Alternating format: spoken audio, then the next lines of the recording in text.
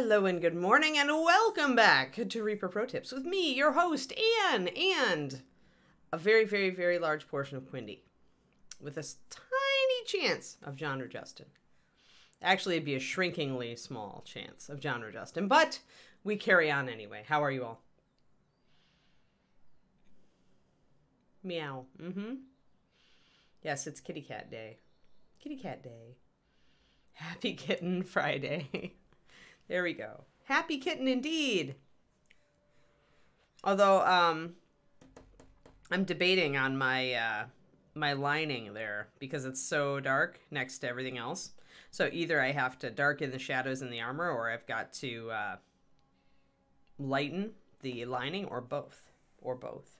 Maybe both. Anyway, yay. Alrighty. Any any fun things going on this Friday for y'all? Any cool plans? I'm gonna whip out my uh, colors for the NMM, which, if you recall, we were doing the uh, the Kickstarter. Um, two of the colors from the Kickstarter triad. We were doing Moon Moon Gray, or uh, sorry, Mo- Moonstone Blue, not Moon Moon Blue or Gray, and Carbon Gray. So nine three one seven nine three one eight. Both excellent colors, just in general. Um, Moonstone's a great highlight for blues. Can also be a uh, just a great highlight for like if you're looking to go a little weird with gray greens. Ah. Sorry, I have something in my teeth. Breakfast, grr. Doing laundry. Fun. Oh. Who's oh, puppy. Puppy was the featured pet. They're smart doing a featured pet. Then everybody will watch just to see the featured pet. Donut Day, huh? Jedi Jared, 37 months in insanity. How could you put up with us for that long? oh no, I've got ear rub off. I took Kitty to the con, and you could totally tell because ear rub off. Whereas this ear is pretty protected as its interior. It's got the shield kind of, but this ear has definitely got a little bit of rub off.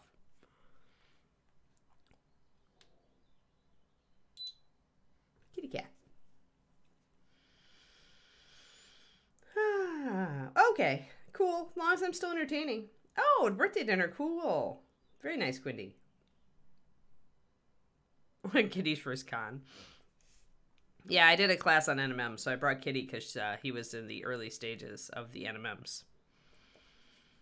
Alrighty, so let's mix up some colors. First of all, I want our base coat, which is 5 to 1, Moonstone with a drop of Carbon Gray.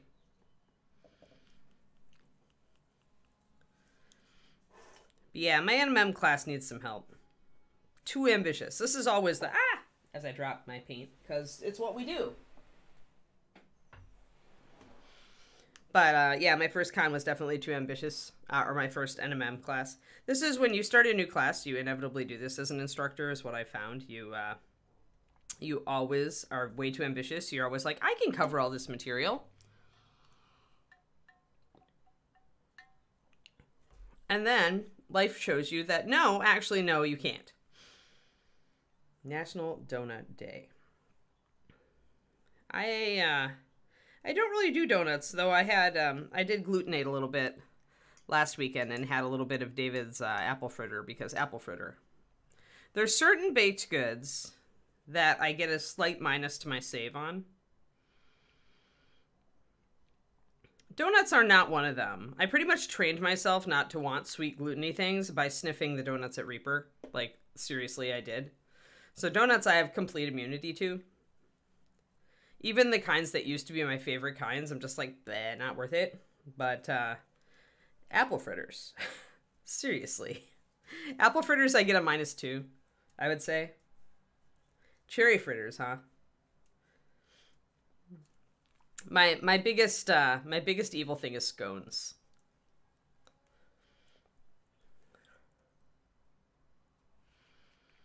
Um, it's like first of all, Kodiak, the first thing you should do is uh is work on understanding lighting first, like doing regular highlights and shadows on surfaces.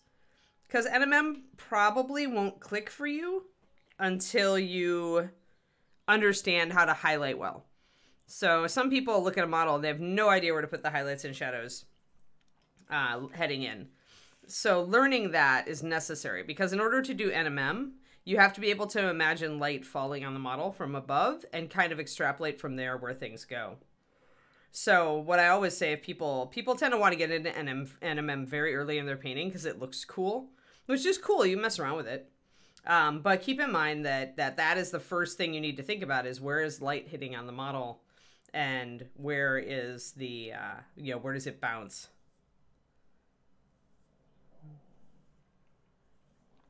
Yeah, one of my coming up fundamentals of mini painting videos will probably be on highlight placement.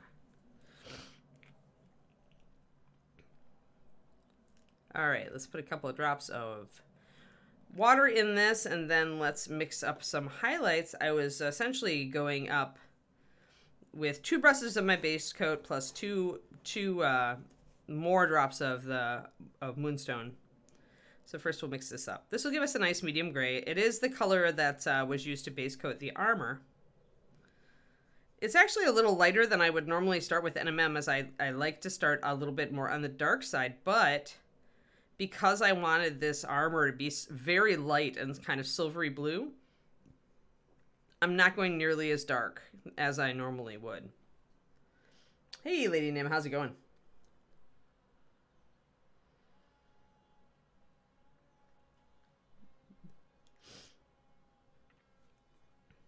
Yeah, scones are my thing.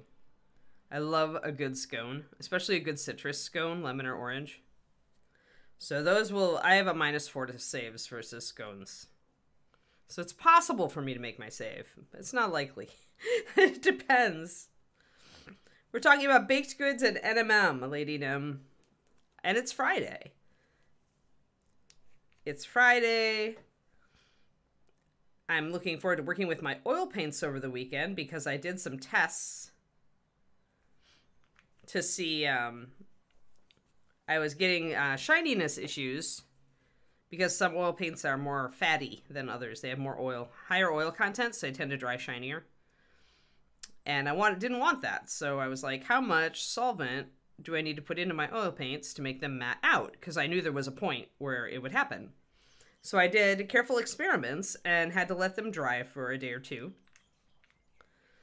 uh, to see how much solvent I had to put in those fatty oil paints to make them dry matte. Because some of the oil paints I can make them dry matte no problem.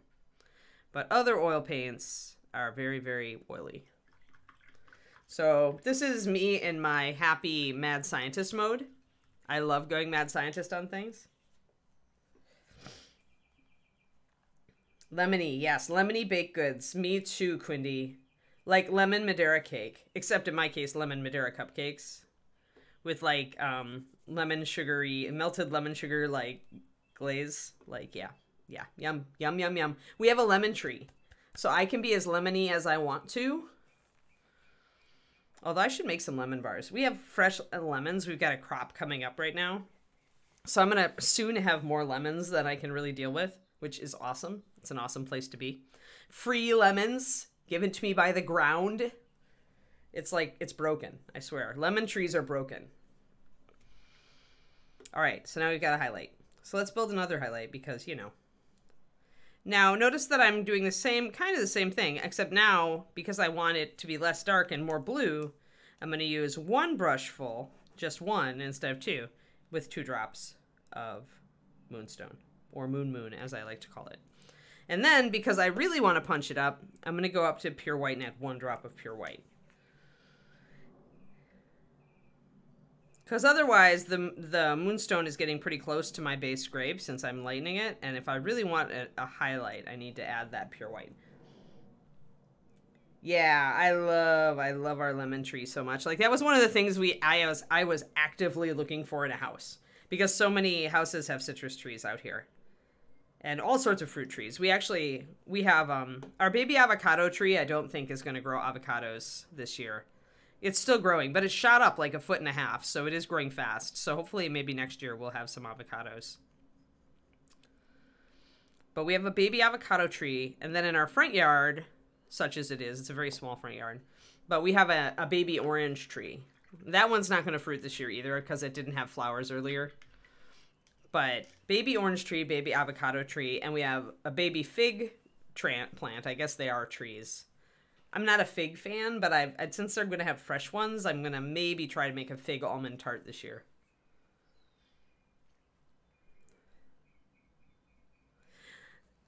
See, I like to squeeze my lemon onto the salmon instead, Shadow Raven, because I find that if I put the lemon on the top, like the lemon, the fish doesn't get the kind of crusty feel like that I like.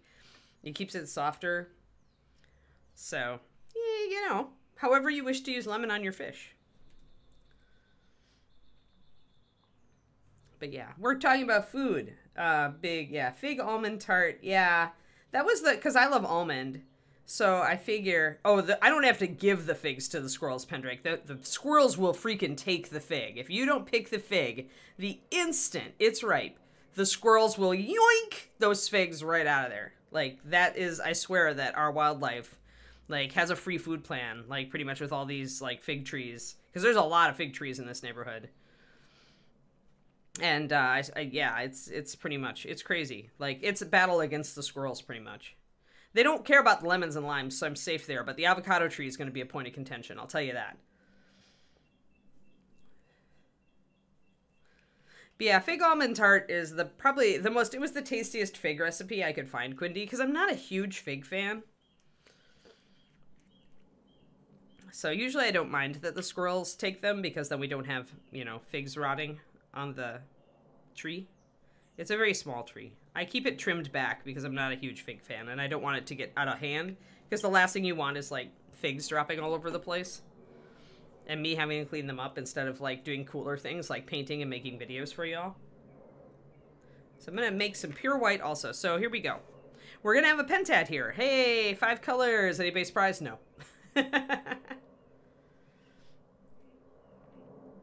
right, most people don't, right? Except out here there are fig trees everywhere. Like there are tons of figs. I had never encountered a wild fig prior to California. but now I have. Um, they're weird things. They're weird, weird, weird fruit. David's dad likes them. So when he's here for the wedding, like maybe I'll offload figs onto him. I just maybe I'll get like maybe I'll get a taste for them if I eat really fresh homegrown ones. Yeah, yeah. The animals will they they find the edibles. They can smell them. All right, now let's grab some gray liner for our shadows. Oh wait, no, we've got carbon gray. What am I saying? I'm so silly. I think I even mentioned last time that I normally would use gray liner, but I was using carbon gray this time to make myself use the triad. The highlight for the triad is Misty Gray, by the way. And if you didn't want this strong blue color to the armor, you would use the Misty Gray, so you would use that triad and it comes out very well. I uh, did, I showed a picture of it, and I did a PDF on this triad a long time ago on the Patreon. Uh, it was this triad and and a couple I did I did uh, kind of a review of those Kickstarter colors, and there's a picture of a fire giant's sword that I painted with the carbon gray, moonstone blue, and and foggy gray. I'm gonna have to put a lot of water into this carbon gray to make it translucent. So I'm gonna put four one to one pretty much. Hey, Joffer.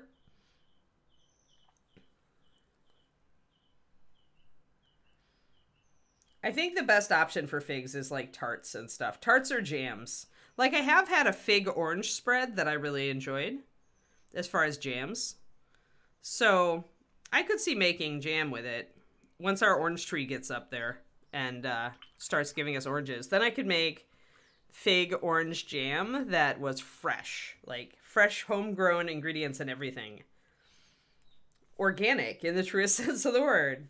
That could be fun because I do I do really think that fig and orange do go well together. And then make some almond cookies to spread it on. Whoa, okay, now we're talking. So I could eat a I could make a fig orange almond fig Newton. I'm trying to figure out what these fruits are growing on our neighbor's tree and I'm trying to decide if they're apples. They might be. They're turning, they started out green and now they're turning pinkish reddish. But they're definitely intruding on our yard. Like there's one branch that's like way over into our yard. So like if the neighbor's tree is going to give us apples, I'm picking those. it's their job to trim that branch. Yeah, I got organic mint too. Ah, War Shadow. Minus 50 DKP. Alrighty, so now our full triad, if we if we ever get there. there we go. So there's pure white on one end and near black on the other. And this is why steel NMM is so hard. Because you have to somehow bridge that gap and, and if you're gonna do it right or do it well, you need to at least blend it a bit. You don't have to have perfect blending to make your NMM look look right. Um, but you know, it can help. It can help. And if you're trying to do a very shiny surface, then you do kind of need to really, really blend. If you're doing a burnished NMM, you can get away with a lot, especially at 28 mil.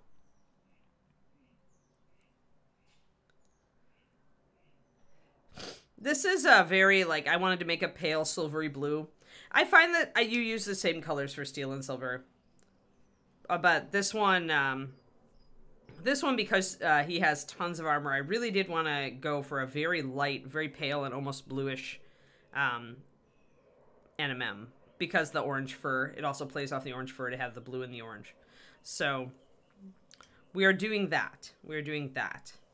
But this would not be like like you you could use these colors for silver jewelry on a model, but it would be kind of wasted unless they were it was a lot of jewelry on a big model like a bust because you're just not going to see the difference really between just using my normal cloudy gray formula with gray liner and white and using this, like you're gonna probably on a on a small area. Remember with muted colors, dull colors like grayed out colors like this, on a small area, if there is a color in there, you're gonna completely lose it. Like nobody will see it. Uh, it's only when you can cover an area with a lot of the color that you're gonna retain a little bit of that blue feel. So remember that using this recipe on anything small is probably like small jewelry bits or anything still sword hilts, things like that, is probably a waste.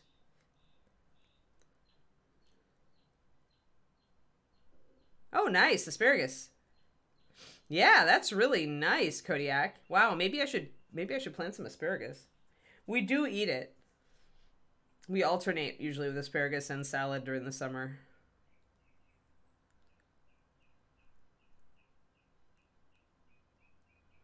Um, I don't remember what the blossoms looked like, Shadow Raven, sadly. Now I'm just looking at the fruits. They are getting kind of big. I'm, maybe they're plums or something. I have no idea, but I do know that I have a ladder and that that branch is growing about oh nine feet in the air, which means I can acquire those fruits. I would complain, but why? Free fruit. and the neighbor can't even really yell at us about it because it's in our yard. The tree is intruding. Uh, technically, it's above our yard, but it's over the fence, darn it, by at least five feet.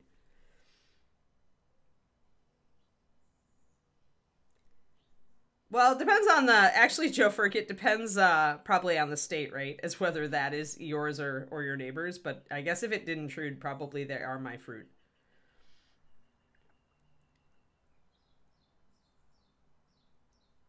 So, yeah. Free fruit. I'm not going to complain. Like, I don't eat a lot of fruit, and I'm pretty selective what I do eat. I do love cantaloupe, but we're not going to get that off of a tree. Cantaloupe is probably my f- favorite fruit. Like, bananas used to be it. Apples are really up there, though, too. So, yeah, it's going to be. But I also love grapefruit. I just have to be careful because it's so acidic. I made a killer grapefruit vinaigrette the other day. I was not expecting it to amount to much, but it actually turned out really well. All right, so I think I need to shade more on this NMM, although it is looking pretty good from this angle. So maybe we'll keep going along this and kind of see how it turns out in the end, because I haven't added final highlights. I haven't added final shadows. Let's do this leg. Let's mock out, mock in this leg for those who missed the first episode. No melons grow on vines. Yeah, and vines are just dangerous here because the animals can get to them. Oh, nice. Roasted chicken with figs and balsamic. That sounds tasty, Turgeon. David likes likes plums, but I'm not a huge plum fan, so I would be happier if they were apples. Very sweet despite the vinegar. Yeah, because figs are. Well, and and to be to be fair, balsamic is also sweet, right? So I thinned this way down. I'm going to use this carbon gray to line these um, these little plates on on his hip. And this is the kind of um the kind of little scale mail that is really good for lining practice. We're not we have no HOA. This is one of the most like this is one of the oldest neighborhood associations in uh in Mountain View. It's probably the oldest. So there is no such thing as an HOA here. It's a community org. It's not a doesn't have the structure of an HOA. I don't think anybody here wants one. Downside to that is there are some houses that are really falling apart. Upside is no HOA. I'll look it up. I'll, I will look it up. Tell you what. Although there are a lot of houses on the street in this neighborhood, because there are a lot of lime trees and orange trees growing like right near the street, the, the houses have signs of "Please do not pick the fruit unless you ask first. So they're okay with you picking a lime or something, but they want you to ask before you intrude on their tree, which is fair. I'm so tempted. It is so tempting though. You just walk by these trees full of fat little tangerines or oranges or limes, and you're just like your hands are itching, and you wish you brought wish you brought a clipper. Maybe if you're me. So these are some of the easiest uh, types of scales to practice lining on because they're really a straight line, and then you're just cross hatching. So this model in general is a good one, I think, to practice lining on because you've got all these big plates and then you've got these the small plates or the crosshatch type plates. Remember that you need to practice lining to get good at it. And if you get good at lining, you will find that you have miraculously also become good at hitting fine details. So this is why I tell you go and line. Go forth and line. Even if you decide that you don't like the effect and that you'd rather do some sort of other shading that isn't linear afterwards, still do lining in the beginning to get experience with it and to build your brush control. It's going to build your brush control for fine detail faster than any other technique on the planet. Because you have to be slow and methodical and precise. Yes, I absolutely agree 100% Shadow Raven. That was one of the selling points of this neighborhood. There's no HOA because it is an old neighborhood. A neighborhood from the 50s when there were no such things. We are very, uh, very happy with that. David doesn't know how happy he is because he hasn't ever experienced the opposite, but I did experience the HOAs when I was in Texas. And I won't share my word for them on stream because then Quindy would have to ban me, and I'm kind of the host, so that would be bad.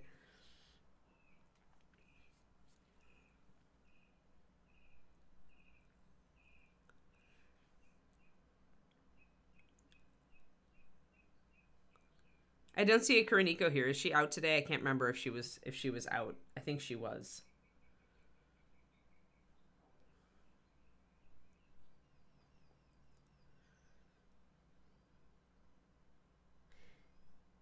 Uh, HOA, housing, uh, housing something organization uh, association. So Kihasu, essentially here in America, HOAs are popular because neighbors want to hold themselves accountable they want to have some sort of recourse, legal recourse, if um, one of the neighbors likes leaves garbage over their front, you know, all over their front yard, or does not mow their lawn and gets weeds everywhere. Essentially, anything done to the neighborhood that doesn't keep it property values good. Um, the HOA is uh, is interested in homeowners association. Thank you. Um, I couldn't remember because I blocked it. I blocked it out of my mind. Um, However, the other good thing that HOAs do is they do take in money to maintain community spaces. So if you have a park on in your community or you have a pool, like a swimming pool, um, the HOA uses funds to maintain those facilities for everybody to enjoy. So at my old community, we had a big pond and also a pool, a public swimming pool. And uh, the funds went to make sure the landscaping was kept up and that the pond was, you know, regularly taken care of and that the um, the swimming pool was, you know, kept clean and orderly and stuff was fixed when it was broken. So that's the good side of HOAs. But the bad side is it's just like is is like the people who run them are people who own houses in the neighborhood And often the people who seek power in HOAs are not your best neighbors. They're kind of the worst neighbors. Um, not always, but often. I don't know. Ours had kind of a mix. But there was just like all it takes is one bad apple just to bring the um, bring the discussion back to fruit. All it takes is one person who's really like kind of loves to mess with everybody else's business, and then it becomes not fun in a hurry.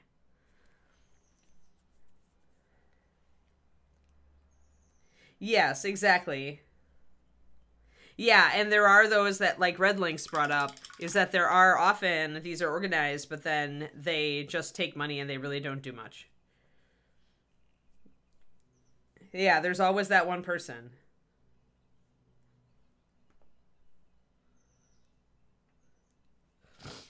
And they also have like the ability to level damages on you legally. So that's not good. And they can make rules like how many pets you can have, for example. Like rules that are just like you're like, "What?" You know? Like you should be able you own your house. You should be able to have 3 dogs if you want. But some HOAs will tell you, "No, no, you can only have 2." Things like that. So it's it's like there's all sorts of arbitrary weirdness that goes on and stuff that arguably impinges on your freedoms as a homeowner, owner of property. But if you sign up to do it because you you want a house in that neighborhood and that house they won't sell you the house unless you you are part of the HOA, you've got no choice. So yeah, or how you can fence your yard or whether you can put a fountain in your yard or whether you can do anything like that, right? Even if you can get a tool shed for your yard. So yeah, so that's the problem. And I the idea behind it is to keep people from putting big eyesores, big nasty, you know, who knows, like sandcastles in their backyard. Anything ugly and and that's going to bring down everybody's like uh, the beauty of the neighborhood, right? But that beauty's in the eye of the holder and it's arbitrary, and so that's where you run into problems. So in America, if you don't want that, you typically buy a house in an older neighborhood or in the country where there is no such thing. And we did the older neighborhood. We were looking at a house and actually did bid on a house with an HOA. Um, and we didn't get that one. We're kind of happy we didn't.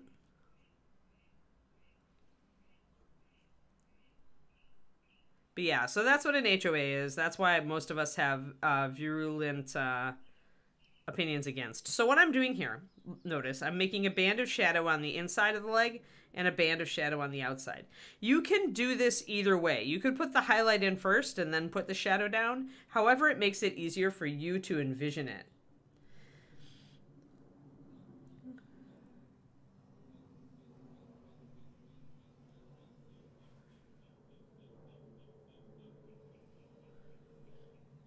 Yes, there is also a monthly fee because of uh, public like areas being maintained, like playgrounds, parks, and pools or ponds.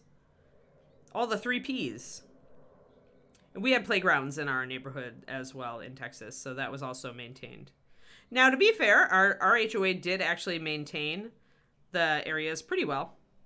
Like the pool was always nice. The pond was always like the landscaping around the pond was was kept nice. They replaced plants that died, and you know they they did their job, but it was still an HOA. And every time, because in Texas grass is a weed, every time like grass grew up through our shrubs in front, somebody was dinging us on it. Like it's like seriously, we cannot keep grass from growing up through the shrubs because the grass is out of control. Once it, get, it gets into the beds, it's evil. So yeah, so we just got very, I got very frustrated with the HOA for dinging us on that. I did my best, man. But I didn't have a ton of time. There we go. So I'm essentially taking this very thin carbon gray and I'm bringing it in just like I did up here. And the thinking behind this is as you look at the model, you can see that the light is going to fall on the leg, right? You can see that this is a lighter gray, and that's entirely because the light from the window and the ring light is falling on the front of this leg. So right away you can see that this is in the light, right? And this is in shadow down here. So on either side of the light on a cylinder is going to be a band of shadow with NMM.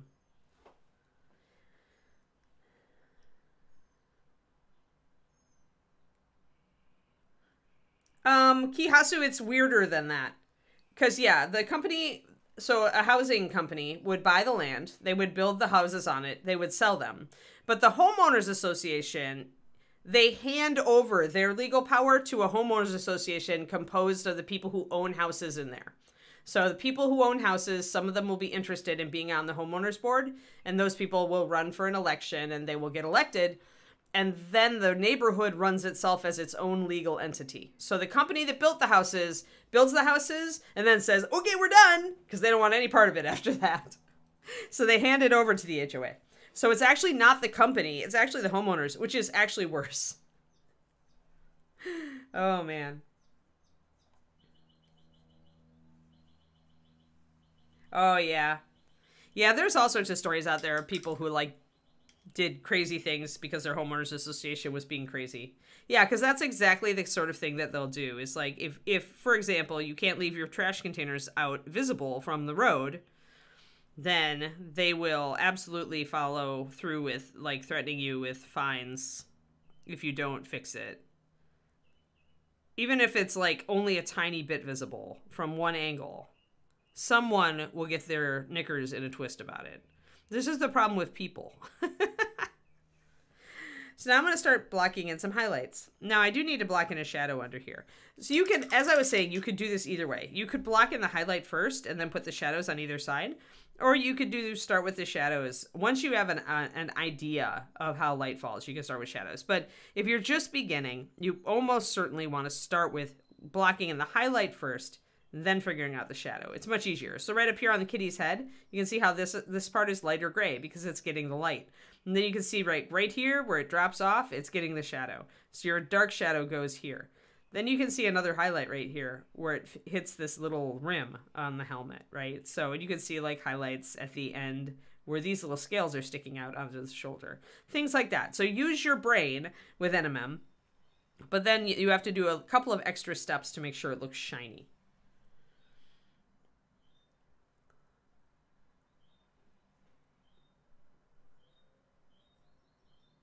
Um, are you on my Patreon, Kodiak? If you are, look up layering. So on my Patreon, patreon.com slash paintingbig, if you go to the very front page, you'll be able to search by keyword. I thoroughly keyword every single post that I do. So you can search for a term like layering or blending, and you will essentially come up with all the posts that are in your level that address that.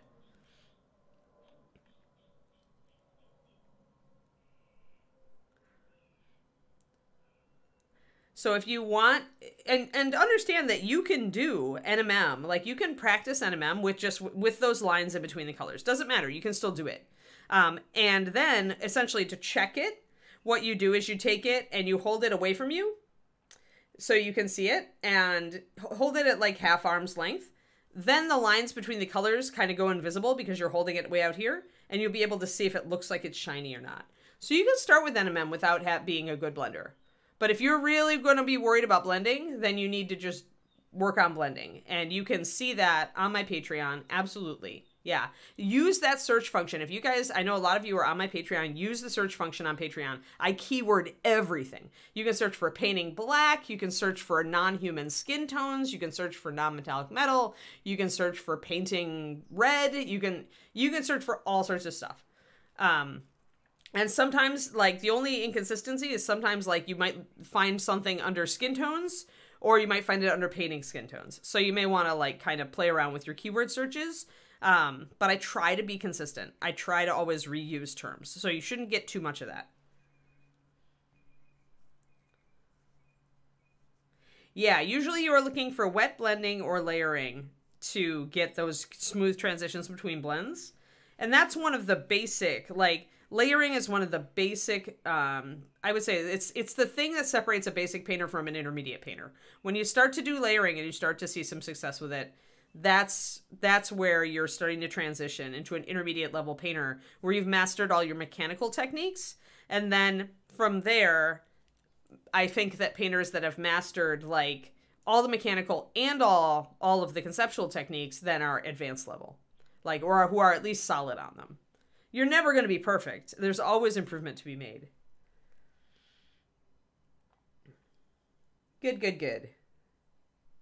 Yeah. yeah, the unfortunate part of HOAs is that in a community of 2,000 homes, you typically only find six ish people who actually want to be on the HOA board, and everybody else just wants to complain. Yep, that's the other problem.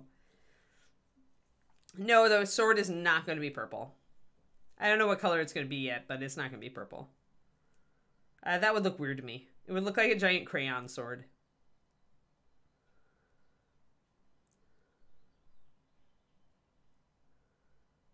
Yeah, exactly. And it has the same problems probably as a sports club. I knew I have a friend in Canada who who um has while her kids were still at home, she was like on the board for like I think their volleyball or hockey team, I can't remember. But it was it was a lot like that. It's like very few people willing to do the work and you just hope those people are good people. But mostly people are just trying to vote people into power who they think they can influence or who have their own opinions, right? So yeah, so I'm to lighten up the front of the leg here. Miss Dim, thank you. 30 months, that's insane. That's really cool. Thank you so much for subbing to us for that many months. Much sub love. So yeah. So I would say if you're going to try NMM, like first of all, I think you do need to really get a good concept of highlighting and shading, regular highlighting and shading before you try special effects. I know nobody wants to hear that.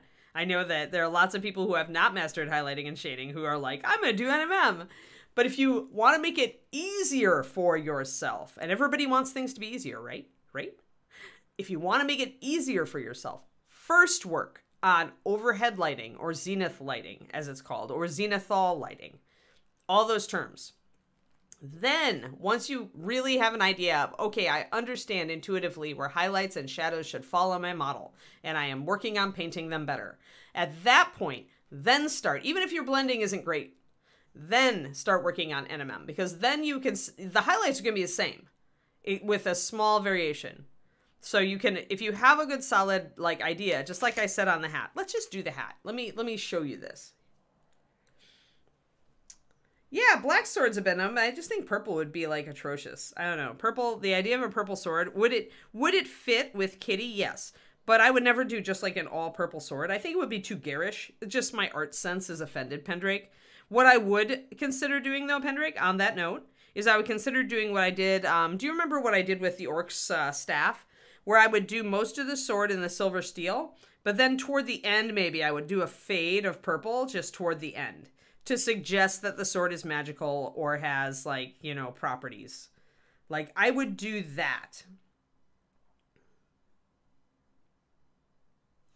So if I'm going to include purple, I would not go. I really feel like the whole sword, doing the whole sword purple, would be rather garish. Even though we are painting an orange tabby, and if any cat, if any tabaxi is going to have like garish art sense, it's probably an orange tabby.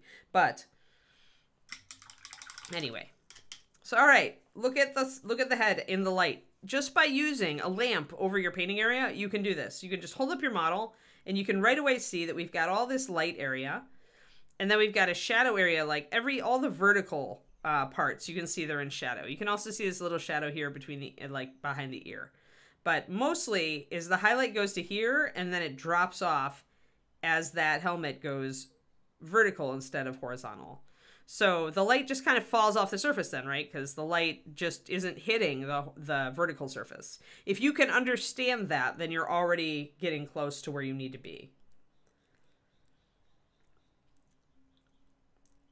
Yeah, when you say purple sword, I imagine just like a purple crayon tacked onto the end of the hilt. Putting some purple in the sword, though, that's doable. But uh, we'll see. Maybe not. I've got to see how everything else turns out. It won't be orange, I'll tell you that, because we have orange right next to the sword. So, but we're not talking about that right now anyway. We're talking about NMM. So I've got five colors, right? And uh, this is this is actually my base coat. Then we kind of have a mid color, right? And then a highlight, and then a highlight. The highlight, the pure white highlight is only used in a couple of little spots. That's cool that you got the bunny, Joe Frick.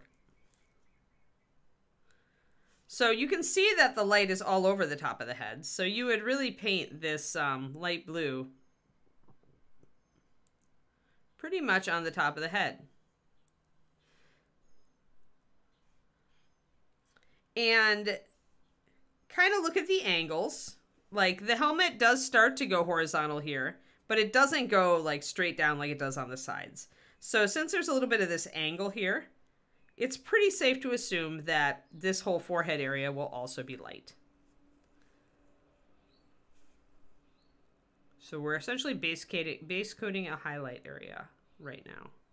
We're not dealing with the with the metallic nature of it.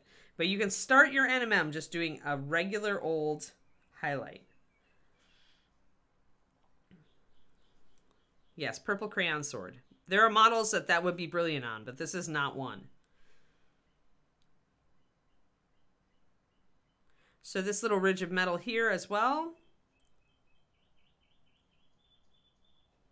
And I need to get the top of the ears because they're facing the light. Wherever there are creases in the armor, I'll leave that little shadow in there.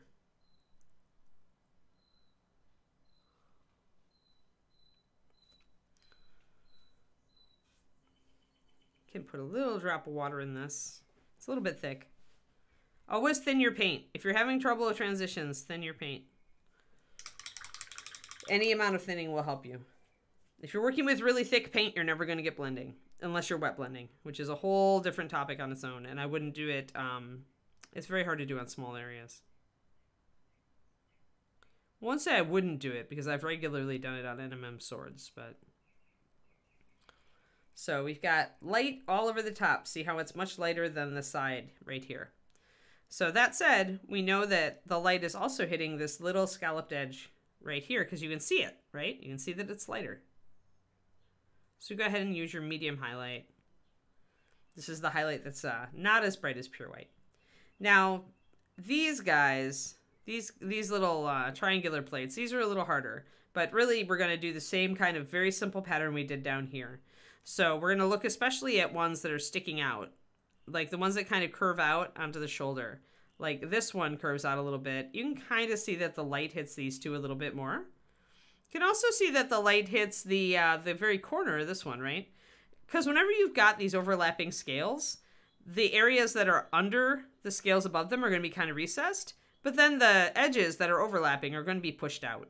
And so it's okay to put a highlight on the points of those. And on this one, I would put most of it in highlight, except for the areas directly overlapping.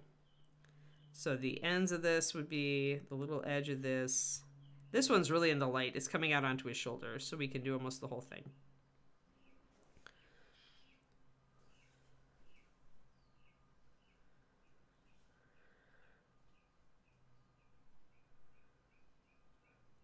Yeah, so Mouseling having a crayon sword is uh, is totally doable. Yeah, because do you understand? Because the the parts that are that are being overlapped are going to be dark. They're going to be in shadow because the scales above them are overlapping. So to see that, we will line. That's what the lining is trying to tell you. It's trying to essentially create a framework where it's shading wherever a plate is coming out from underneath it. And it's also trying to bring out these details. So with the lining, you can kind of do a shadow at the top of each of these little scales. Quite a bit here on the helmet because uh, you can see this is the helmet comes out quite a bit. See how much it projects? So you could go a little bit darker shadow right under that helmet to bring it a little bit. See it now, the, only the tip is light and we've got a shadow there. So we're just, right now, we're just highlighting exactly as we would if this was not metal. And I'll show you where it changes. But on little areas like this where it's a little filigree, you just kind of generalize. You do the shadow, you do the highlight.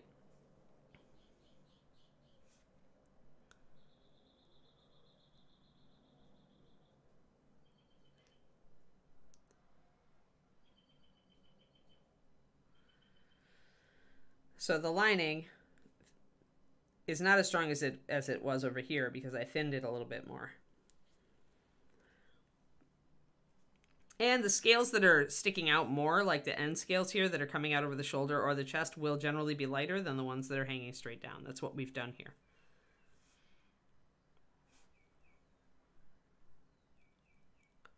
Just Just bring in a little bit more shadow underneath areas where it makes sense. Also on little areas, you don't need perfect blending. You can't get it really. It's just a tiny little area.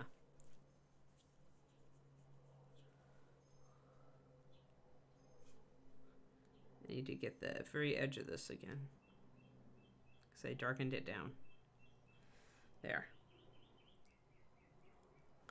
So, all right. So we've got this kind of like, this is like if it was a cloth cap, this is how we would highlight it. Now, first, shadows. We already know that the shadow is going to be in this vertical area. But not all of this shadow is going, this is where the metal gets weird. Where this would be perfectly okay but now we're going to make it shiny. So the way to make a thing shiny, there are two qualities for NMM. Let's start with that. Shiny and reflective. You are trying to suggest that this surface is shiny, and you are trying to show that it is reflective. These are the two qualities of metal that we are trying to build an illusion around, right? That's why you keep a card, Joe. Keep a card. That way you have your mixes. I even have a binder for mine now. So, if you come up here, now if you were shading this normally, you might shade this whole area. But with metal, the darkest shadow is going to be right under like your brightest highlight. And your brightest highlight is going to be right where the light falls off the side of this helmet. So right between, right at the edge of light and dark is where your brightest highlight will be. And right under that is where your shadow is. This is where it starts getting weird. This is why NMM is a conceptual technique and not a mechanical technique. You cannot simply learn to NMM without thinking about it. Blending you can learn to do, and you don't have to really master any particular light sourcing or anything like that. Um, but NMM, you must uh, you must actually be able to visualize this stuff and to understand how light acts. That's why I call it a conceptual technique. Mechanical techniques like blending will help your NMM look good. But, so there's that bright highlight. There's a dark shadow starting up there. Notice I did not extend the shadow all the way down. There's a reason for that. Just hit this highlight. I'll explain in a second why that highlight is there. But so now we want a dark shadow underneath that bright highlight. It is the putting together of dark and light that creates the illusion of shiny, putting them together very close to each other. So I'm going to pop the shadow even darker up near the top. I use little artist trading cards, Joe Ferk. That way I can just buy binder sheets and just put them into card binders, just like magic cards. Because these are about the same size, I think, as standard cards. I'll just scribble what model it was, it was on them, and then I can put them in a binder. And it's really the artist trading cards. Like you can get Bristol, like ones that are Bristol, which are a light card stock, or you can get these are watercolor. But I have both. I have Bristol and watercolor. They both work equally well with the small amounts of paint we use. I highly recommend doing this just to uh, keep yourself organized if you tend to use a lot of mixes and you might want to go back and touch something up at some point. And if you're not like me, you don't have the superpower of mixing. Like, I can pretty much match anything at this point, but... I still like to have my mixes if I'm working on a model. So, alright. So now I'm going to bring in another weird thing. So, dark next to light gives you shiny, but what gives you reflective? Well, it's looking at where your highlight is and thinking about where light might be bouncing. So if the light is catching this little edge here, this little edge is going to have a strong white highlight toward the middle. So that's going to be bringing that up much brighter. But that light is going to go somewhere. It's not just going to sit there. It's actually going to reflect up at this metal right next to it. But it's not going to be as strong as the light itself. So a reflection is never as bright. It's never up to pure white. But that means we can bring in a bit of highlight here. And we can almost go up to pure white because this is such a light colored armor. So I'm going to make kind of a little spot blend on my brush. Also, obviously in 28 millimeter, you want to use a brush with a really fine tip so that you can do really controlled stuff. Because some of these highlights, you're going to need to get them really, really, um, like, fine detail.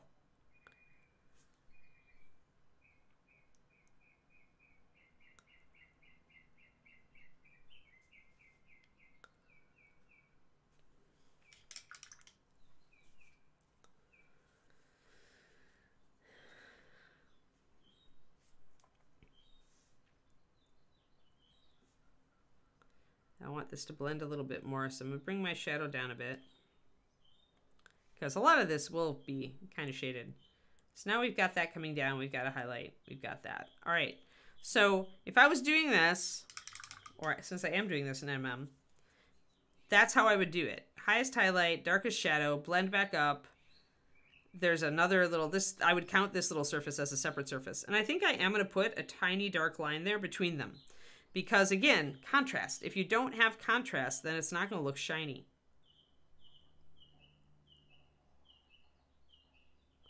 So I'm going to darken down that line there a bit. Maybe even put some shadows on either end of this little um, fringe. And sometimes I even I have to go back and forth and go, okay, like did I get too dark? Did I get light? Did I, you know, where's my highlight going? Did I do it right? Because you have to stop and think about it. Every time you do an MM, you're stopping and thinking about the surface and you're tailoring it. You're tailoring your uh, painting to that particular surface. And this is an unusual surface. It's not on every model. So it's a little harder. Why do I put this highlight at the top? So NMM metal is essentially like a kind of a mirrored surface. Think about a mirror with lots of facets like a disco ball. The one that is like looking the brightest to you is the one that's actually reflecting the light right at your eyes. So if this, somewhere in this, somewhere in this mirror, between where it's angled upward, now it's angled more out, more out, more out, more out, now it's like perpendicular. Somewhere in here is where the light is falling down and bouncing right out at your eyes, where you're looking at it. And that is where the bright highlight, the brightest highlight goes is where the light is falling down, and as this curves around the angle, somewhere on this curve, it's going to be flashing toward your eyes. And that's why that highlight goes there. And it doesn't matter if you're super precise because this model is so small, you just have to get really close.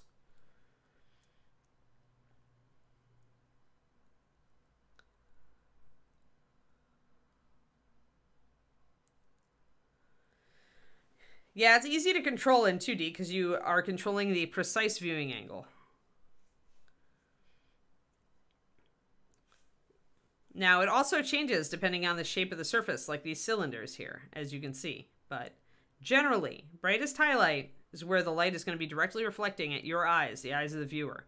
And the question of where you are is solved by the viewing angle. So if you're looking at him right here, tackle it just from this angle. If there's also a, a, si a side that's an interesting side, that's probably also a viewing angle. This is a viewing angle this is definitely a viewing angle because the shield makes it more interesting. So I would say this guy actually, flat as he is, this guy actually does have four viewing angles because you're not only just going to be looking at him face on, you're going to be looking at him from this side. Probably because the um, the reason is the metal armor is very interesting, the shapes of it. But yeah, the basics NMM, and this is what I taught in the ancient, ancient NMM handout that used to be in the old Learn to Paint Kit 2 when I wrote those instead of Rhonda. Or sorry, Learn to Paint Kit 3. Highest highlight, darkest shadow right under it, away from the light source. Highlight back up to an under reflection. Because there'll be a light that's reflecting up on the, toward the underside of the model. Breastplate. Highest highlight, where the light is hitting. In this case, it's a burnished breastplate, so it doesn't have a super spot highlight. It just has a broad highlight. Underneath that, dark shadow. Down here, we got to highlight up to an under reflection. So we got to bring this color up. Not as bright as your top highlight. A step down from that.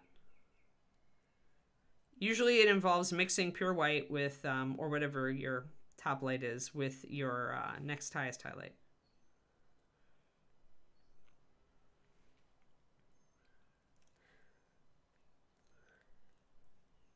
If you still have your copies of those directions, you have absolutely no excuse. No mistake. You must, uh, you, you know these rules already. You must know these rules. So there, here, probably here, when you've got numerous, like you've got a cylinder that's wrapping around the model, you're going to start tackling this from various directions. I'm not even going to get into it really because that's probably a little beyond some people who are just learning. But notice how the rule stays the same is highlight, shadow, under reflection highlight, shadow, under reflection. Highlight, shadow, under reflection. Like simple, simple. 28 millimeter NMM. Super easy. When you get bigger, then you're getting into the crazy. But even then, even then, these rules still hold. It's just you can then wiggle with them in various ways. They wiggle in various directions. Phthalocyanine.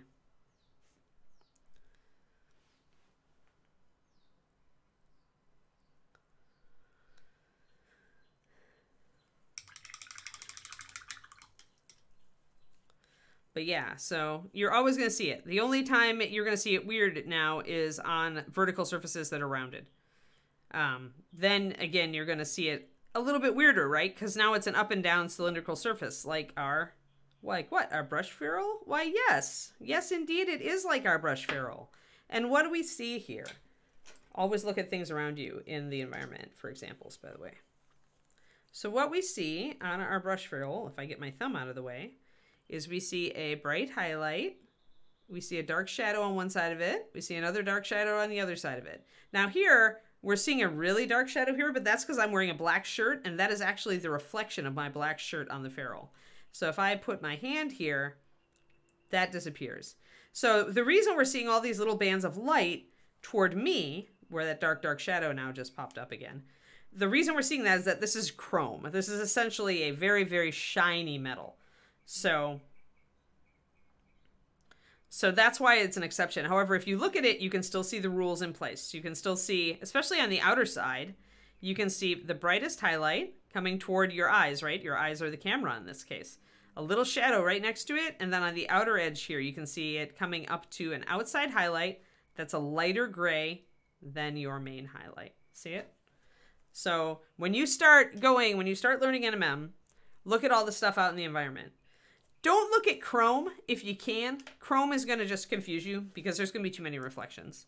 It'll still like hold kind of true, but you may get confused just because there's like with the ferrule, it's just so many color reflections. Like there we go. Because then it's going to start reflecting like this. Though you still can kind of see it. But use something like, um, you know, then you can get crazy and you can see like all the reflections of little lights here. Let's see if we can get this to work. Boom. There you go.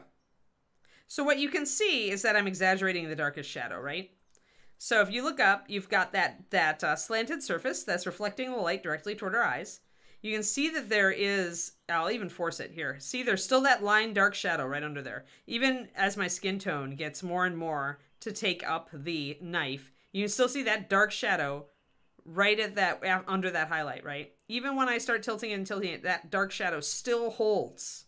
Still holds, still holding. Now I'm starting to turn away from the light. Now my highlights are shifting.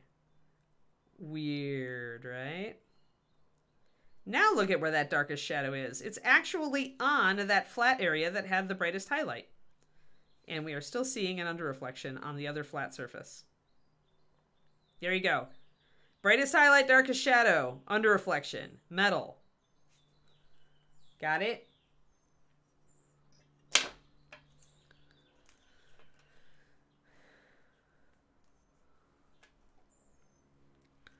Demonstrated with a real world object. And real world objects will demonstrate for you all the time if you let them. But you have to actually get your butt out of like staring at your phone and look around you. I have to do this with myself regularly on walks. Stop living in my head and start looking at the crap around me. It's kind of my time to do that. So on a cylindrical surface, it really depends. Like the front of the lake here is kind of flat. So I could paint it as a, a bulk object or I could try to put More of a white highlight down the middle.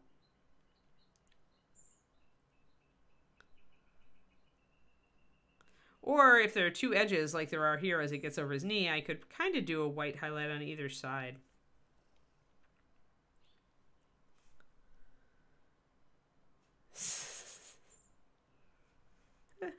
well, then you're not going to learn NMM.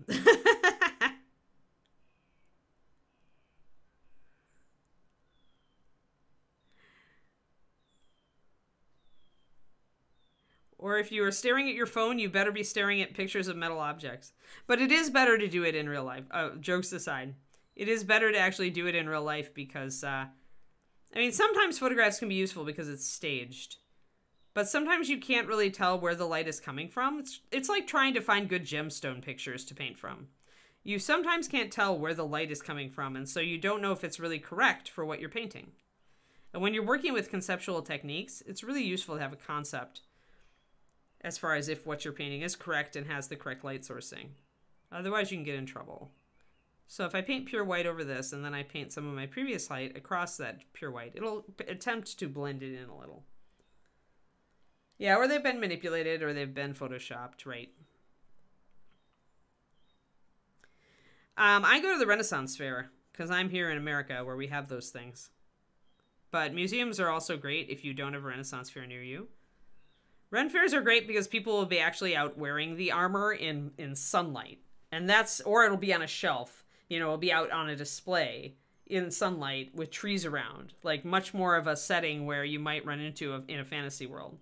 So, whereas a museum is going to have we're going to have indoor lighting, which you're usually that's usually not what you're painting. So, that's why uh, I think like reenactments, Renaissance fairs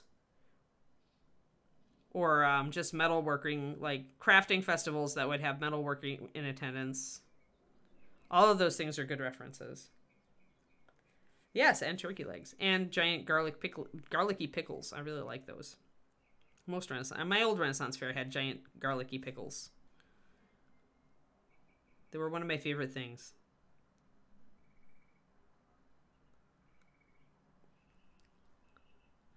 So bringing up that highlight there.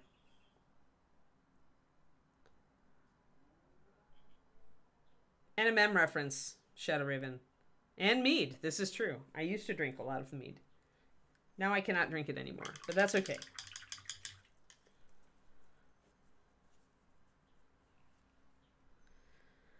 Yeah, using real world, world references is what's all about. So here, because we're in a cylindrical vertical setting, we've got kind of another weird thing. And this is why when you're doing um, NMM, it helps to know where your light is coming from. And usually, what you'll find is people will paint with the light coming from slightly ahead, slightly in front, and above, like kind of at this angle, which makes it much easier when you go to paint cylinders because then you know your highlight's going to be on the front because you've got that light coming at that angle. The other way that people paint typically is with a diffused light coming from everywhere, which has the same effect because that diffuse light will still be running at a slight angle down the front of the light.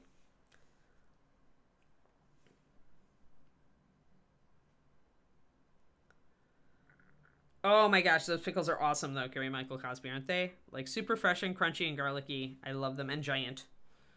I adore those things. Like I wish I could just buy those things, but of course they're too big for most pickle jars. Maybe I should just learn to make my own in a giant pickle barrel. It's essentially you're eating a cucumber. An entire cucumber. So we still have our reflection though, right? So we've got, now we're thinking more from the frontal, because we've got a slight angle. So we've got our front and then our shadow and then our reflection. But we're also going to have, you can see, I didn't carry the shadow all the way down the leg because you're also to have this rim Yeah, I agree, Lady Katara. They're very good. They are very refreshing. Well, with all that fattening food and alcohol, having something acidic can be a nice complement. So I'm going to get the bottom of each of these plates, just like I got the bottom of each of these little scales. So already, right away, this is starting to look more metal.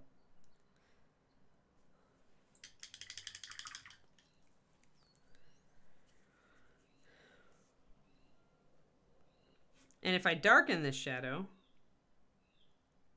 and this is why I thinned down my uh, carbon gray a lot, is because I knew I was going to want to kind of build up shadows. And I didn't want the brush strokes.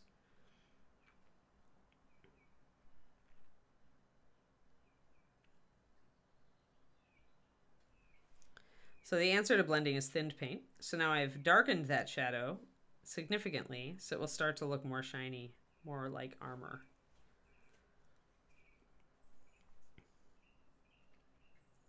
NMM is just one of those um, one of those things that you shouldn't start a full model like this. Um, what you should probably start with is just a very simple model.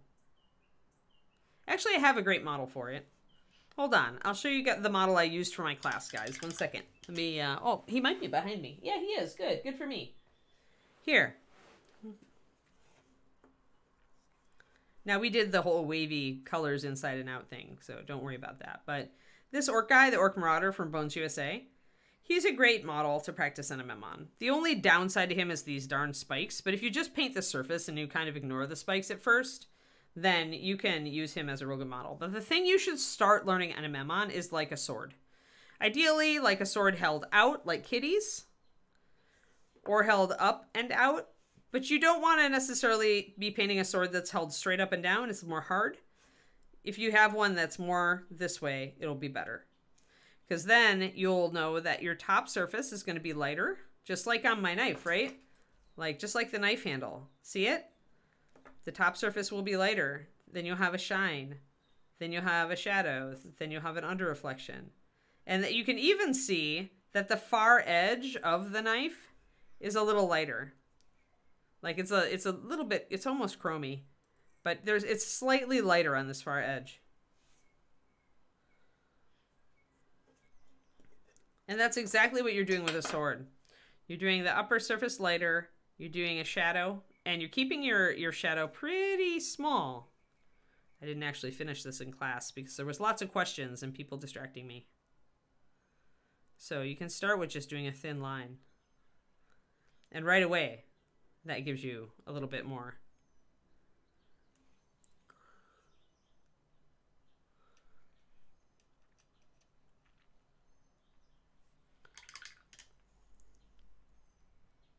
Just adding some water to my paint so I can blend that in.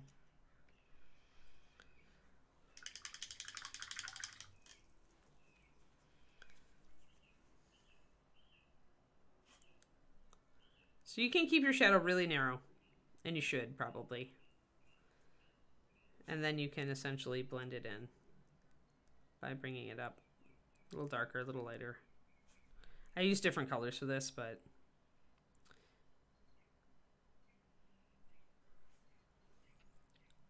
Don't want to lose it all, though. I lost most of it there. There. Better. So you do want that shadow to be there. You don't want it to be just a thin line. You do want a little bit of a blend. But it's where that, note that it's where the darker colors are on this, where it looks shiny. When you are lacking that dark, it doesn't look shiny anymore. So that's the key here. That's the biggest mistake that people make with NMM constantly is they don't do their shadows or they don't do them dark enough because it's very difficult they don't they usually don't because it's very difficult to do it right you're blending from almost black to pure white that's the hardest blend out there that's why nmm steel can be so hard for people who are just starting out i am not teaching any moonlight um, the reason is that we might have a tiny puppy at that point so I'm going to try to come to the con, but no guarantees. Because this may be the only ReaperCon I miss. Because the puppy will be too young to be kennelled or puppy sat. Like, just, it's 10 weeks old at that point. So my only option is to actually drive with the puppy to Texas for ReaperCon in order to make ReaperCon. And that's going to be kind of brutal. So, and it also might be hard on the puppy. So I have not yet decided what's going on. I already shot Ron an email that a warning of sorts that I might not make it. Um, so we'll see. It really depends on the puppy. If the puppy is like really outgoing and really like, you know, like a puppy where where she's like super happy and loves people, then maybe we come to ReaperCon. But if it's a puppy who is a little bit more reserved, maybe a little bit shyer, that's going to be overwhelming. So I'm going to kind of play it by ear. We have a room already booked, and David is definitely going. Um, but he may just go without me. I already talked to him about it. It's just the way it may go. I was kind of hoping that the puppy would be ready to go home like right after ReaperCon, but that is uh, not what's happening. So also uh, in three weeks we should find out uh, how many puppies there are for sure. That's when the X-ray is.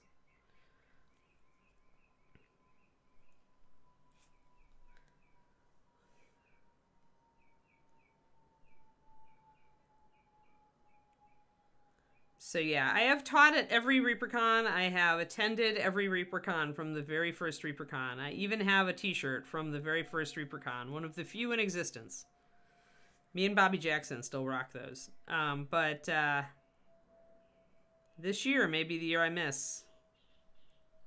I'm gonna fill in around these rivets. Whenever you've got like rivets or spikes, you should fill in around them dark. Then you can just pop a white highlight onto them. You don't have to like do anything complicated with rivets on NMM.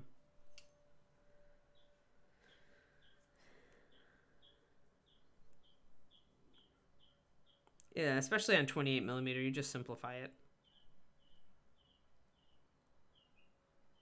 But yeah, so this may be the one Analyst ReaperCon. We'll see. It also depends. I'll be driving the puppy home with me from North Dakota. And uh, if if she's a really good road puppy, that'll also influence the decision. Whereas if she's car sick a lot, that'll definitely influence the decision in the other man other way. So yeah, totally all about the pupper this year. Next year she'll be old enough. Like once the puppy's over, you know, a year old, then she's no longer. Then she's she's a dog and she can be I can get a dog sitter for her.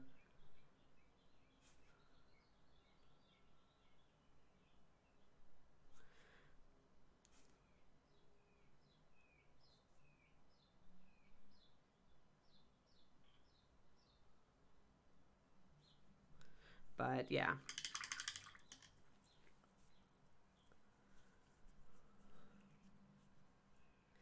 Yeah, it'll have to be Ron, and that means it's going to take forever. He's going to have to practice his speed reading. Ron will be your replacement Anne, most likely. He'd love that, not. I'm sure he's kind of crossing his fingers that I make it after all.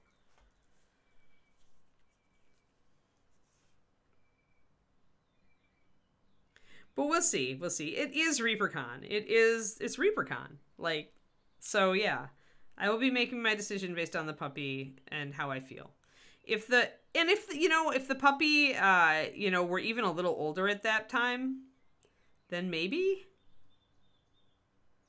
But it's like to be such a baby puppy. It's gonna be a baby puppy, and like a week and a half before ReaperCon, I'll have driven from North Dakota to California. And then I gotta like turn around and drive from California to Texas. It's kind of insane. Yeah, Ron is probably like sweating right now. Like when he thinks about that award ceremony, sweat is rolling down his face, like hoping to God that I make the uh, I make the con.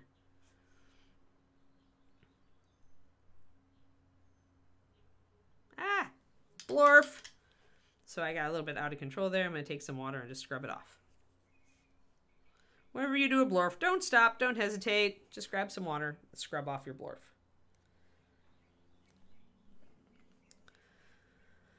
But yeah, we'll see. We will see.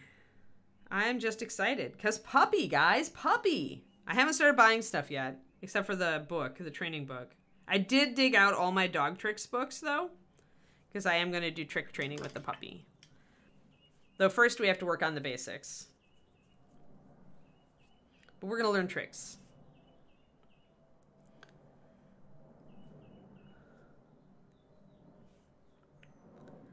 So the leg's starting to look better. Let's do these little, I showed you, I talked about doing these little plates. Here, here though, this hip plate, it's just not looking right at all. And that's because it doesn't have a dark shadow.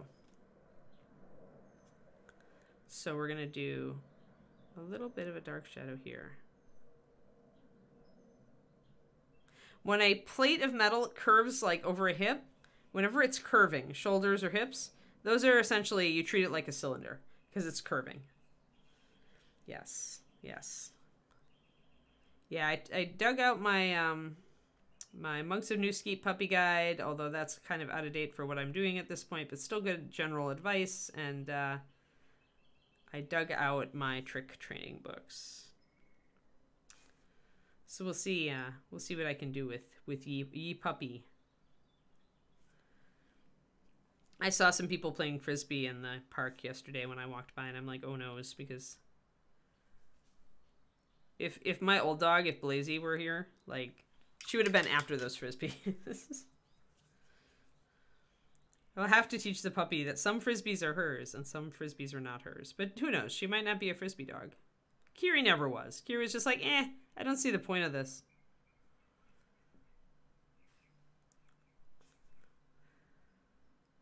And Leo would chase it, but then sometimes he just wouldn't bring it back. But Blazy, Kiri's daughter, she was a frisbee fiend. I don't know if it's because I raised her to like to like the frisbee or what, but she like she would do those incredible leaps like you see greyhounds or whippets doing into the air to catch frisbees. And she had these long legs, and it would just be insane. The air that dog would get.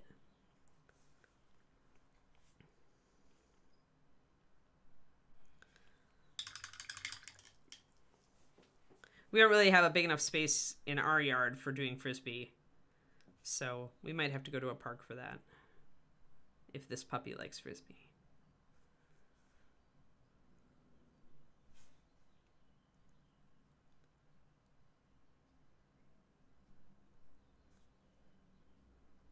Because really, it just matters what the puppy likes on that point. Dogs are like people, and sometimes they just don't like the same things we like. So you should try to find something your dog likes to do. All right, so now we made kind of the stripy pattern there, and now it's looking a little bit better. But yeah, excited for the puppy. Excited.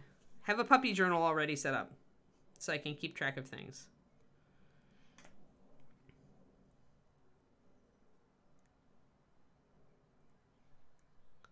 Like how much the puppy weighs. We'll weigh her once a week. Until she's too big to get held.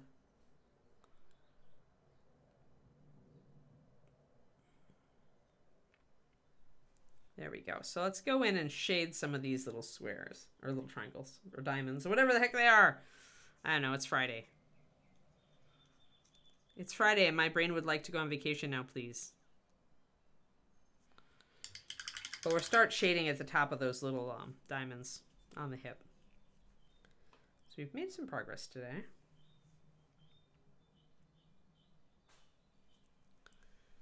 But yeah, puppy, puppy, puppy.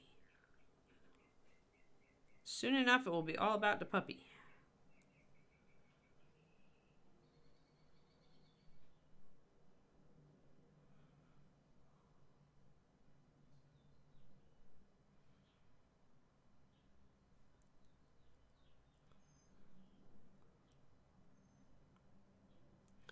So putting a shadow at the top of each of these diamonds, you can see that.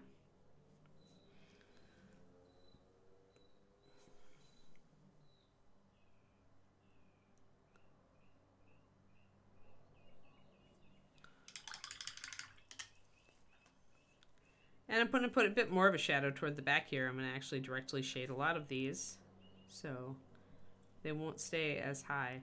Because the same thing, um, remember that even though these is each of these is a separate plate, it's also a mass of texture. Like it's a woven piece of metal.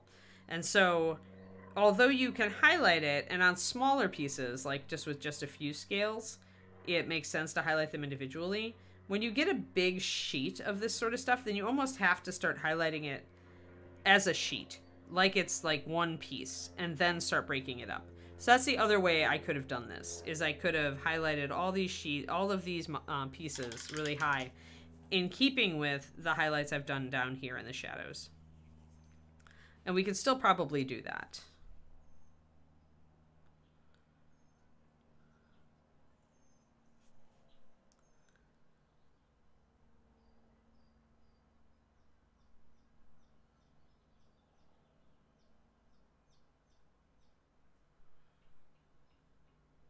I could essentially minimize the shadows I put in on the areas that are in line with this front broad highlight, like I did right here.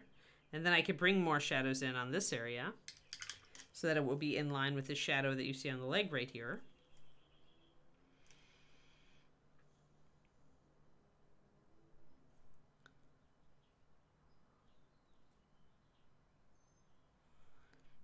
So that we have a dark area going up into that. See how that is more like this is just all one area. This is just all one area. See that? But now we got to bring up more highlights back here because then we've got highlights coming up this area.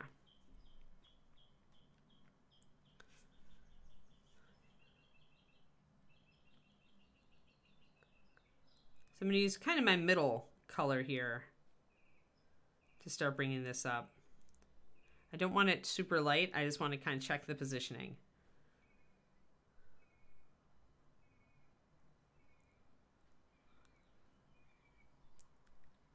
That's a little better.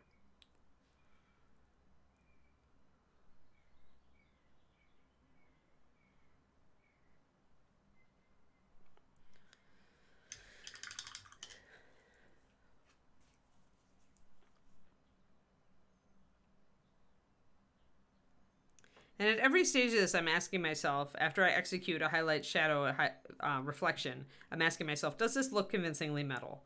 And I'm looking at it, is it starting to read as shiny and reflective?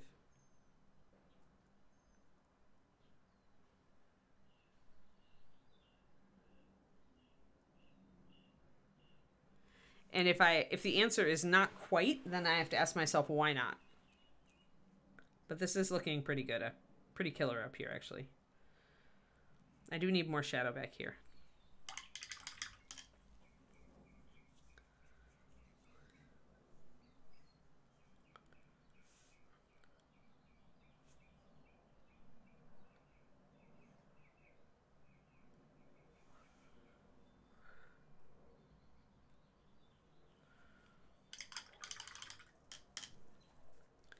And I probably need to minimize this highlight here.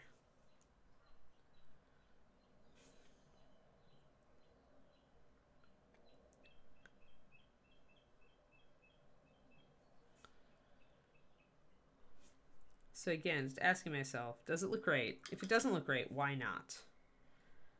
Kind of evaluate my dark, light, dark, or, or light, dark, light rule and ask myself, am I following it? If I'm not following it, where am I not following it? And is that what is impacting the lack of shininess?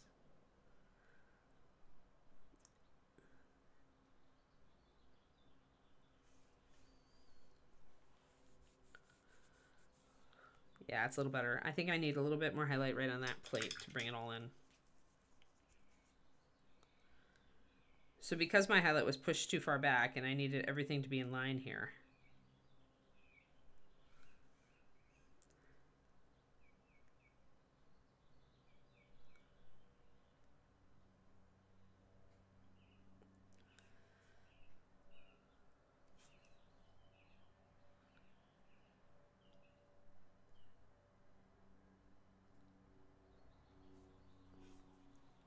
That's better. So now that leg is reading really well.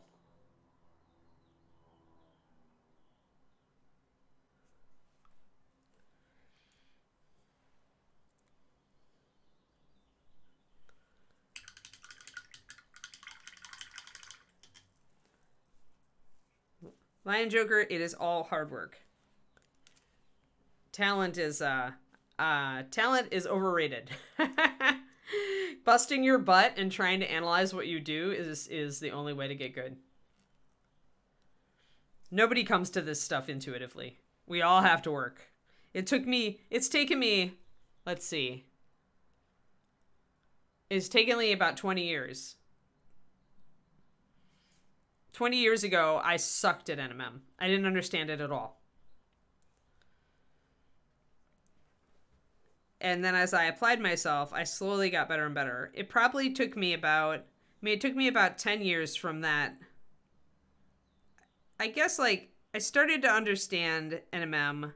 I was sucking at it, I was sucking at it, and then when I started working for Reaper, writing that first Learn to Paint Kit 3 made me sit down and analyze these rules. And ever since then, it's been a battle of learning how to interpret the rules that I set up depending on the position of the piece of metal and the shape of the piece of metal.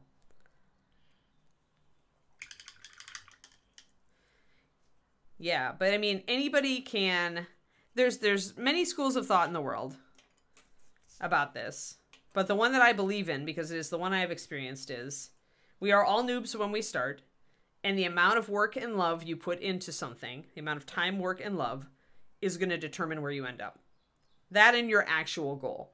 Like some people like go into a hobby with the goal of I just want to do okay. I want a model that I can be, you know, like that I'm happy with, that I can put on my gaming table that's better than most of the people I know can paint. And that is absolutely a okay, cool, and that is like super attainable. But if you decided at some point that your goal changed and you get interested in doing competitions or you get interested in maybe not even competing, but just learning to how to be your best painter, like like finding out, just seeing how far you can go. Like even that. Then it's just work and work and time and and love. Like it's just that.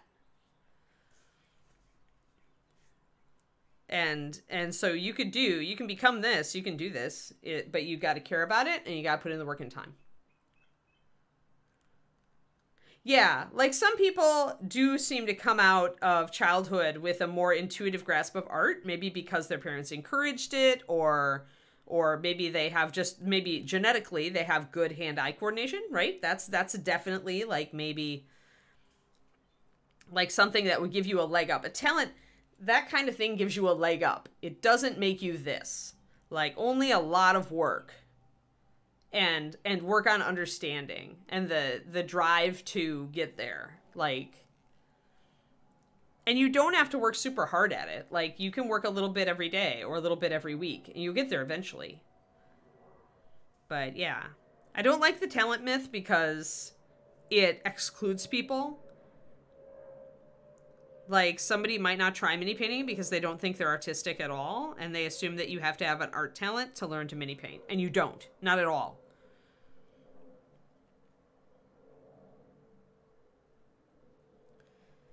And the person who is really bad at this when they start,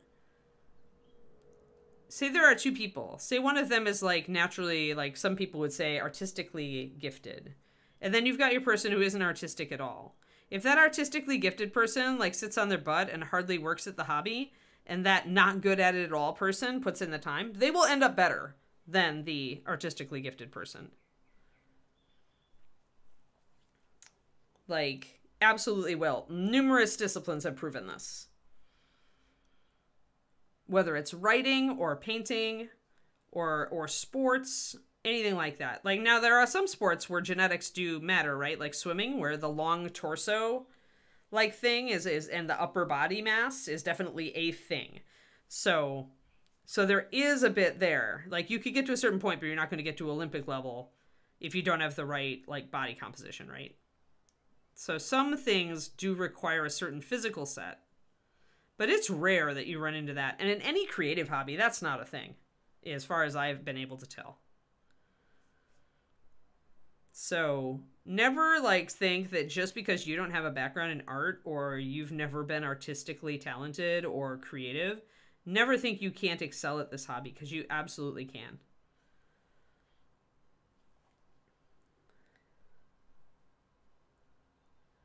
A lot of people are like that Dogfather. They get into the hobby because it's cool looking or they're gamers or, you know, they just see the miniatures and kind of like it lights them up and they really think it looks fun. Like a great many of us are not like art people when we get into this hobby. And even me, who was, had a very long road to get good at it. Like so yeah, never never let it bar you just because you feel like you're not a natural at it. Like I, that's something that we've talked about before. That society tends to tends to want to tell us that if we if you if you try it and you're not good at it, you should just give up and try something. Look for something else that you're better at. I don't agree with that at all. You should follow your heart and do what you love. And if you run into barriers, you should think about how to get past them. Inevitably, you will run into barriers. Whether whether your own mental barriers or those set by others.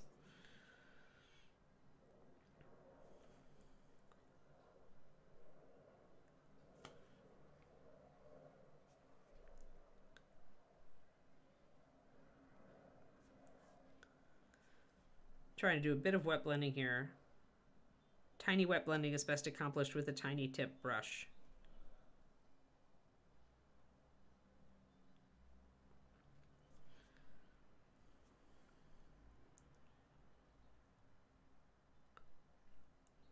But yeah.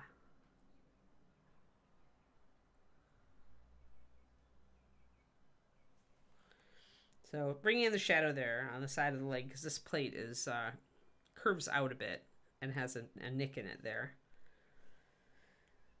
Yeah, absolutely, Abtaria. I believe I agree 100%. You get out what you put in. If I started a new hobby, like okay, so I just picked up some knitting books.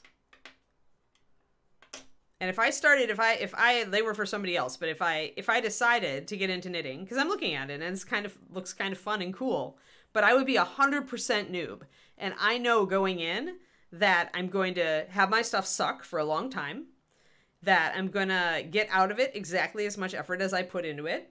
And if I run into snags, literally, I'm going to have to just figure out, you know, what how to fix that, right?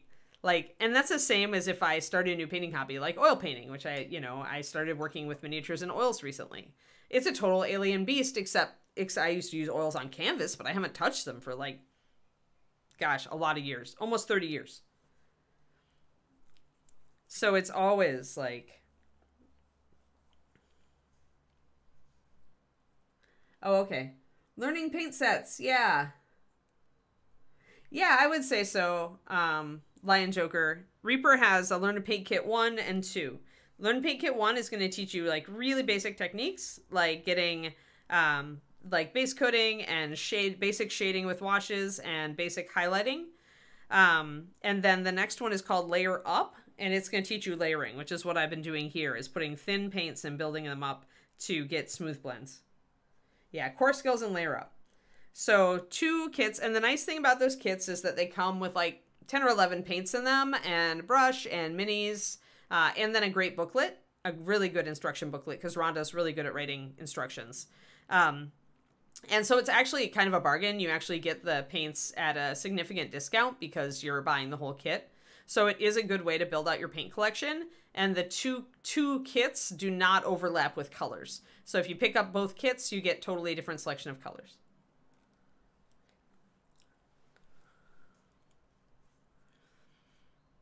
So yeah, I would I heartily recommend Reaper's Learn to Paint Kit. There are other companies that put out kind of like getting started kits, but I really feel like the directions on ours are superior. And also that you get quite a deal with it. With some some sets I feel like these days you don't get really a deal at all. But Reaper is always like like wanted to help people get into the hobby, wants to enable folks to get into the hobby, and so their learn to paint kits are still pretty much like at a sale price. Like you get a lot more than you pay for with those kits. It's a good good buy. But yeah, a lot of other companies have gone in and kind of made like starting uh, stuff. So now you can see the light falling here. You can see that we've got some shadow here. I need to work with this area a little bit for the under reflection and I need to bring up really high highlights on the foot. So we're already at almost quarter after. So I'm going to actually just add like a really bright highlight down here on the foot to show you guys and then we'll call it.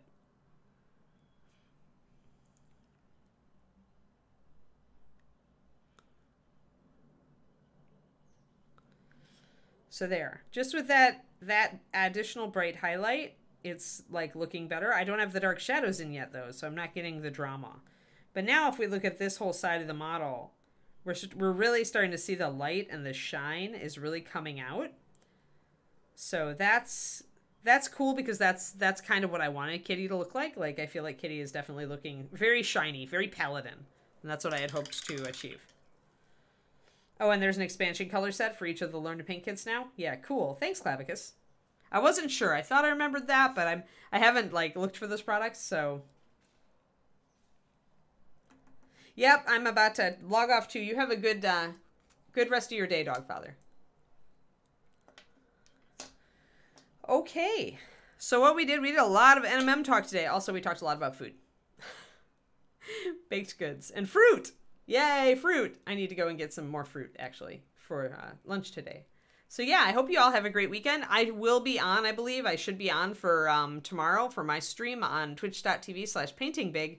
Uh, we're going to continue. This should be the last week of green work on my giant Wolfen model um, to get him ready for priming. So that's exciting. We just need to do some uh, adjustments on top of the head with green stuff, um, some elbow sculpting, and uh, there's just like there's just like little bits, like just corrections. Oh, I need to fix the top of the muzzle and one of the eyes. So, so yes, so twitch.tv slash painting big. I also did just put two of my new YouTube videos live. Um, I've been doing a, if you're not a patron, then you can see my stuff on YouTube like pretty much around the first or the second of every month. I put at least one new video up. Uh, so we did one on palettes, and then I did also my uh, my my origin story. Um, so those are up now on my YouTube. Yeah.